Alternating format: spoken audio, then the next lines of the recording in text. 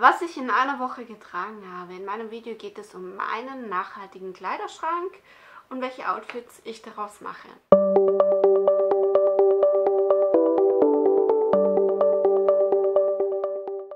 Hallo, ich bin Coco vom Kanal Die kleine Coco und möchte dir heute zeigen, was ich letzte Woche getragen habe, mit dem Hintergedanke, dass alles eben aus Secondhand kommt. Und ich habe würde ich schon fast sagen, mit der Entscheidung, die ich vor über einem Jahr getroffen habe, es ist über ein Jahr jetzt her, weiß ich schon gar nicht mehr. Man merkt sich sowas meistens immer nicht.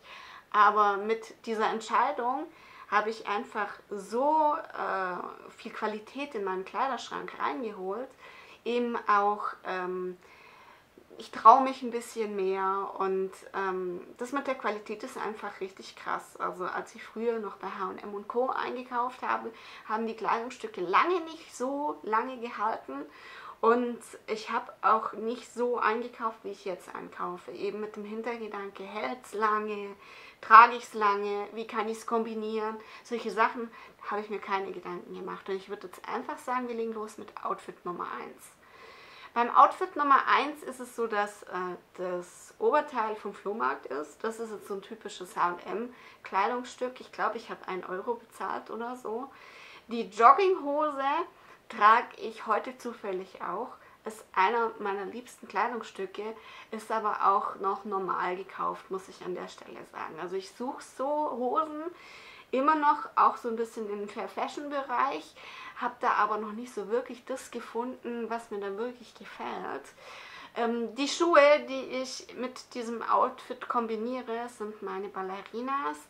Bei den Ballerinas muss ich aber sagen, die sind ein bisschen unbequem und sie sind Leder.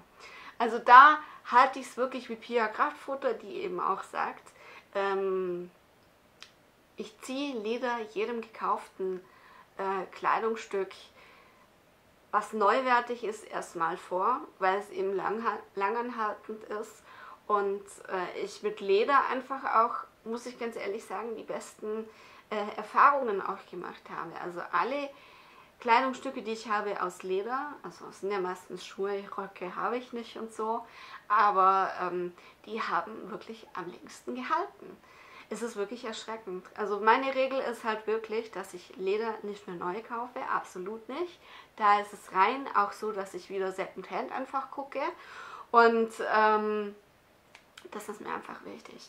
Ohrringe habe ich an dem Tag auch getragen und zwar meine Silberohrringe und da muss ich einfach auch sagen, ähm, Modeschmuck ist einfach nichts langanhaltendes. Irgendwann mal schmeißt du diesen Modeschmuck weg, weil er hässlich aussieht ist nun mal Fakt, weil das läuft an, wird grün.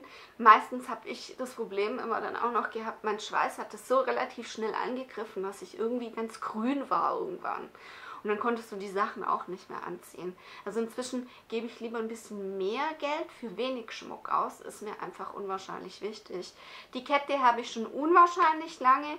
Die habe ich mal von einem Brieffreund mindestens 25 Jahre habe ich die Kette. Das ist der Hammer, dass die immer noch in meinem Besitz ist. Ich weiß, ich habe die immer äh, neu aufziehen müssen, weil der Faden einfach kaputt war. Aber ich trage die viel zu selten und ich mag sie eigentlich richtig gerne. Mein Outfit Nummer 2. Diese braune Bluse finde ich für mich echt schwierig. In mehrerer Hinsicht. Die braune Bluse habe ich vom Flohmarkt für 5 Euro. Äh, ist für einen Flohmarktpreis fast schon ein bisschen teuer, würde ich sagen. Äh, da achte ich dann immer schon drauf, äh, dass für 5 Euro ist immer meine Grenze. Also mehr Geld gebe ich auf dem Flohmarkt nicht aus. Also es ist wirklich so ein krasses Markenstück, wo du weißt, wenn du es irgendwo im Laden kaufst, kostet es viel, viel, viel, viel mehr. Also, äh, aber bei der Bluse war es jetzt irgendwie, die war außergewöhnlich für mich. Also das ist wieder so ein Punkt, wo ich sage, da probiere ich halt einfach auch so ein bisschen rum. Und ich bin bei der Bluse bin ich mir einfach noch nicht so hundertprozentig sicher. Ich habe eine große Oberweite, unten ist die Bluse aber schmal, oben fällt sie leicht und es wirkt dann immer so ein bisschen zeltig. Also ich versuche das immer noch so ein bisschen zu kombinieren, dass es mir halt einfach auch gefällt. Gleichzeitig sind so Stoffe einfach überhaupt nicht nachhaltig. Also ich werde zu sowas nicht mehr wirklich greifen. Manchmal ist es halt einfach so, dass wenn du äh, Secondhand bestellst und ich bestelle meistens bei Jubab, äh, dann siehst du den Stoff nicht. Das ist immer so ein bisschen schade. Äh, dann überlegst du dir halt schon, schickst du es wieder zurück oder behältst du es jetzt? Weil das Zurückschicken ist halt auch jetzt wieder so ein bisschen, ähm, du willst ja nachhaltig handeln und das finde ich dann in dem Sinn dann auch nicht nachhaltig, wenn dir die Sache zwar passt, aber der Stoff nicht so richtig ist. Der Stoff ist deswegen nicht nachhaltig, weil beim Waschen einfach Mikroplastik weggeht. Und du bist einfach auf der sicheren Seite, wenn du was Ba aus Baumwolle oder einem natürlichen Stoff verwendest. Gleichzeitig kann ich diese Bluse nur einmal anziehen. Dann riecht die verschwitzt. Und äh, dann muss man einfach auch was anderes tragen. Ja, also das sind so Sachen, die trägt man halt nur einmal und dann müssen sie wieder gewaschen werden. Das bedeutet auch für das Kleidungsstück, dass es eben nicht so lange hält, weil Waschen für ein Kleidungsstück halt immer ähm, sehr stressig ist und dann gleichen die Sachen aus, leiern aus etc. Aber für 5 Euro kann man einfach nichts sagen und mal gespannt, ob dieses Kleidungsstück einfach überleben wird in meinem Kleiderschrank. Das weiß ich einfach nicht auswendig. Hier habe ich auch wieder Silberohrringe getragen. Äh, da zählt einfach das gleiche auch. Ich gebe inzwischen einfach gerne mehr Geld für Schmuck aus, ähm, der dann echt ist, den ich dann länger trage. Und da achte ich dann eben auch drauf, dass der Schmuck zeitlos ist und dass ich den einfach ähm, ein bisschen besser tragen kann. Hier habe ich eine schwarze Leggings kombiniert. Das ist so eine der letzten Leggings, die ich bei New Yorker gekauft habe und die ich auch schon äh, flicken musste. Die Qualität ist halt einfach Mist. Und da achte ich auch darauf, dass ich äh, zukünftig ähm, äh, Material oder bei einer Marke kaufe, wo das Material besser ist. Also ich gucke mir mal die Tok Tok ähm, Leggings an. Äh, ich denke, dass es die auch werden wird beim nächsten Mal, wenn die anderen zwei, die ich jetzt habe, kaputt gehen. Ähm, meine roten Chucks, die sind auch schon relativ alt. Ist auch schon 15 Jahre alt oder so. Die wollen halt einfach nicht kaputt gehen. Oder ich bin halt mehr jemand, der die schwarzen trägt. Ich habe schwarze, gelbe und rote. Und die roten, bei denen ist schon so, dass die Kappe vorne total vergilbt ist, aber ist egal, die halten immer noch und die Sohle ist immer noch einigermaßen okay. Und dann kombiniere ich so ein recht schlichtes Outfit gerne dann auch mal mit äh, etwas lockeren Schuhe, Schuhe, weil ich dann doch nicht so fein daherkomme. Da bin ich einfach gar nicht der Typ dazu. Und die Kette ist eine Tigeraugenkette, die habe ich mal äh, auf dem Kulturufer gekauft und die Kette an sich selbst, also nicht der Anhänger, die habe ich von meiner Mutter bekommen. Bei dem Outfit Nummer 3 ist es halt eben auch so, ähm, dieses Oberteil, was ich damals noch bei Chino Tricot gekauft habe, ist auch schon ewig lang in meinem Besitz. Das ist hinten ein bisschen länger. Äh, ist es halt auch so, dass das gleiche Material, Mikroplastik, da muss man sich einfach ein bisschen Gedanken machen und das kannst du halt auch nur einmal anziehen, dann stinkt's. Es ist halt nun mal so und solche Kleidungsstücke finde ich halt immer schade, äh, dass die... Ähm, das hat jetzt schon relativ lange überlebt bei mir, aber das hat halt eben auch den Grund, dass dieses Oberteil recht speziell ist und ich das halt nicht immer tragen kann. Besonders wenn es äh, jetzt wieder kälter ist, dann ist das Kleidungsstück einfach so gar nichts, weil es relativ dünn ist. Dann habe ich zu dem äh, Outfit habe ich auch wieder eine Leggings getragen, eine schwarze. Das wird dieselbe gewesen sein wie vom Vortag. Das weiß ich jetzt nicht mehr hundertprozentig. Aber ich habe eine von H&M und eine von New Yorker und die leben halt immer noch. Dazu habe ich braune, hohe Schuhe getragen und die habe ich auch mir mal in einem Outlet gekauft. Also die habe ich mir nicht auf normalem Weg gekauft. Und da bin ich ganz froh, dass ich zu denen gegriffen habe. Erst dachte ich immer so, oh, die sehen so ein bisschen altbacken aus und so. Aber inzwischen gefallen mir die recht gut. Habe ich auch schon super lange. Die meisten Kleidungsstücke, die ich habe, sind eh schon etwas länger bei mir. Und äh, jetzt momentan ist auch so eine Phase, dass ich halt auch Schuhe wegschmeißen muss. Das tut mir so weh, wenn ich Schuhe wegschmeißen muss. Das ist echt schlimm. Ähm, dazu habe ich jetzt keinen Schmuck getragen, was ja auch mal ganz äh, angenehm ist. Ich bin jetzt nicht jemand, der regelmäßig Schmuck trägt, aber ich lege halt inzwischen schon mehr Wert darauf, dass äh, wenn ich was trage, das eben kein Modeschmuck mehr ist, weil mir das einfach auch zu blöd ist, ähm, du bist total verfärbt und ich sortiere gerade ganz langsam, heimlich, still und leise meinen kompletten Schmuck aus und minimiere das so ein bisschen. Outfit Nummer 4 hat jetzt wieder eine Hose, die ein bisschen mutiger ist. Und da habe ich auch so ein bisschen gebraucht, bis ich mich daran gewöhnt habe, weil da kann ich meinen Bauch nicht verstecken. Das ist eine, die geht etwas höher und ich wusste mal, wie dieser Schnitt äh, geheißen hat von den Hosen. Äh, nicht High Waist, sondern der allgemeine Schnitt von der Hose. Ähm, Ihr könnt mir das gerne mal unten in die Kommentare schreiben. Mir fällt es jetzt gerade nicht mehr ein. Das ist so ein blau-grüner Stoff. Und ich dachte, als ich die Hose gekauft habe, die habe ich auch bei Jubab bestellt. Jubab werde ich euch mal unten im ersten Kommentar verlinken. Ähm, da dachte ich, das wäre mehr so eine Hose, die ich im Sommer anziehen kann. Aber der Stoff ist halt dann doch schon so ein bisschen dicker. Äh, ist für den Sommer zu warm, habe ich äh, wirklich die Erfahrung gemacht. Äh, ist jetzt mehr so in Richtung Herbst auch eine richtig klasse äh, Geschichte. Hier habe ich einfach gemerkt, ich kombiniere unwahrscheinlich gerne dieses rot-weiß gestreifte T-Shirt, was ich auch gebraucht gekauft habe. Ähm, das passt einfach total gut dazu. Und äh, Schuhe technisch habe ich an der Stelle meine Pumas getragen. Die sind aus Leder da hatte ich einfach äh, auch das Bedürfnis, weil ich einfach keine Schuhe mehr habe, die fest sind, die man irgendwie auch mal beim Spazierengehen anziehen kann, wo einem die Füße nicht so schnell wehtun.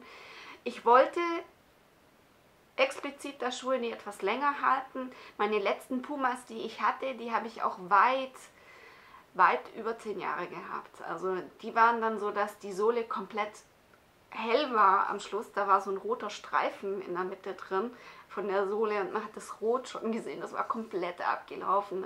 Hammer. Hätte ich echt nicht gedacht, dass ich die Schuhe so lange trage. Und das habe ich halt mit den Schuhen auch vor, wirklich. Sie so wertzuschätzen. Ähm, und ich weiß von der Farbe her, das wird etwas sein, was ich noch länger tragen werde. Das Thema Jeans ist für mich unwahrscheinlich schwierig, weil ich durch meine Krankheit einfach auch ja, der Bereich vom Po-Oberschenkel ist ein bisschen äh, breiter ausgelegt.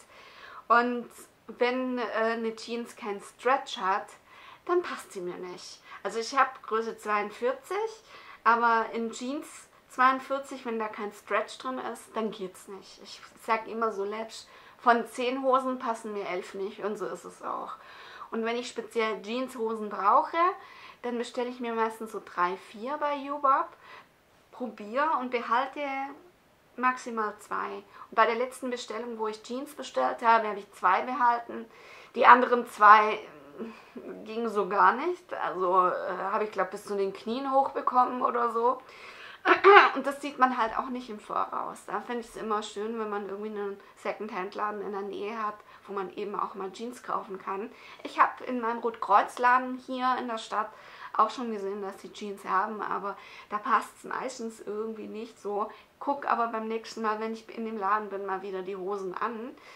Ähm, die Hose ist von LTV, äh, hätte ich mir so nie äh, gekauft, muss ich an der Stelle sagen. Mir geht es oftmals so, wenn ich Secondhand kaufe, dass ich oftmals an den Marken einfach sehe, da hätte ich niemals geguckt im Laden.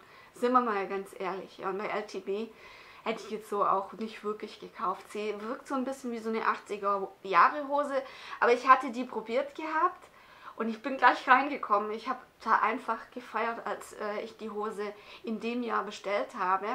Und ich wollte einfach auch ein Material, was mal so ein bisschen fester ist, weil bei diesen anderen, ihr wisst wie es ist, bei diesen anderen Hosen, die hast du unwahrscheinlich schnell kaputt bekommen.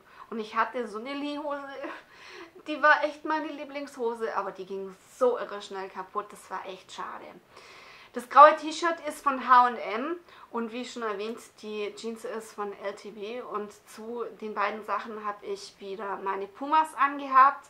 Das ist so, das ziehe ich meistens an. Jeans und T-Shirt, da fühle ich mich am allermeisten wohl. Ich muss an der Stelle sagen, dass ich schon inzwischen relativ... Ähm, stolz auf mich bin. Meine Socken sind äh, jetzt auch Fairtrade. Bei Unterwäsche gucke ich inzwischen bei den Unterhosen auch, dass ich Bio-Unterhosen kaufe. Nur BHs ist für mich relativ schwierig. Ich habe eine große Oberweite und ich kenne keine Marke, die BHs machen für große Oberweiten. Ehrlich finde ich echt hübsch, aber da ist meine Größe nicht dabei. Ich habe, als ich das letzte Mal einen BH gekauft habe, äh, Doppel-D gibt es nicht mehr. Was hat es jetzt gesagt? Habe ich jetzt E oder F? Weiß ich nicht mehr. Relativ groß und ich muss halt dann wirklich schon in einen speziellen Laden gehen. Und da finde ich leider nichts im Internet, was relativ schade ist. Aber äh, wenn man so ein Kleidungsstück eben sich neu kauft und weiß, man trägt es ganz lange und es ist nicht irgendeine modische, dahergelaufene Sache, die man irgendwie in einem Jahr nicht mehr äh, anzieht, dann ist es für mich eigentlich auch okay. Also macht euch ein bisschen Gedanken darüber, wenn ihr äh, Kleidung einkauft, woher kommt die? Man kann eben schon auch noch diese Fast Fashion kaufen, aber denkt bitte an diesen Nachhaltigkeitsgedanken. Trägst du das Kleidungsstück? Das ist ein ganz großes Thema, weil ähm, es gibt eine Statistik, die besagt, dass jedes Kleidungsstück in, äh, was gekauft wird, nur dreimal getragen wird. Und da sind ja meine Kleidungsstücke auch dabei, die ich regelmäßig trage. Und das ist eben immer noch recht entsetzend, wenn man bedenkt, dass der zweitgrößte Müllberg auf der Erde eben Textilien sind. Deswegen sollte man die eben so nachhaltig wie möglich kaufen und da ist Secondhand einfach eine recht günstige Alternative. Kaufst du Secondhand? Kannst du mir gerne unten in den Kommentaren mal berichten. Ich melde mich an der Stelle ab, bedanke mich bei dir fürs Einschalten. Gib mir einen Daumen nach oben, falls dir mein Video gefallen hat. Ihr wisst, mein Abo ist kostenlos und wir sehen uns beim nächsten Mal. Macht's gut, tschüss!